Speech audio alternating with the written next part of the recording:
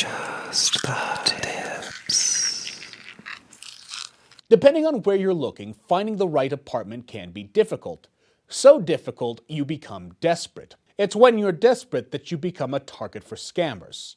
To protect yourself, here are some tips for avoiding rental scams. 1.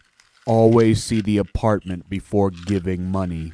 Scammers like to copy details from legitimate apartment listings and create their own fake listings. These fake listings will typically have rent way below the market. If you see an ad for an apartment that seems too good to be true, it probably is. A red flag for this type of scam is if you contact the landlord and they say, I've had a lot of interest in this apartment.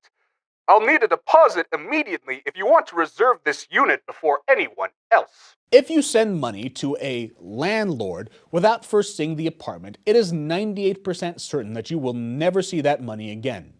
Never, ever, ever give money to a landlord slash property manager without first seeing the apartment and meeting them in person. If a landlord keeps making excuses for why they can't meet in person, you're dealing with a scam artist. 2. Always get it in writing.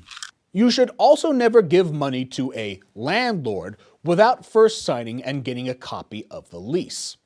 Reputable landlords should have some form of written agreement for you to sign.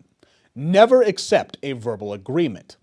If a landlord seems reluctant to use a written agreement, then you're dealing with a scam artist. And if you receive a copy of the lease, it is imperative that you read every single word before signing. So again, never give any money to a landlord without first signing and getting a copy of the lease. The only exception to this is an application fee, which brings us to 3.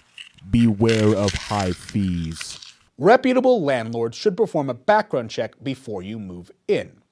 If a landlord says you can move in without a background check, that's a scam. Background checks, though, aren't free, and your landlord may ask for an application fee to pay for your check. And legally, they can do this. However, at the time of this recording, most application fees should cost between 30 to $60. Any price above that should be viewed with high suspicion. We'll hope you remember these tips when apartment hunting.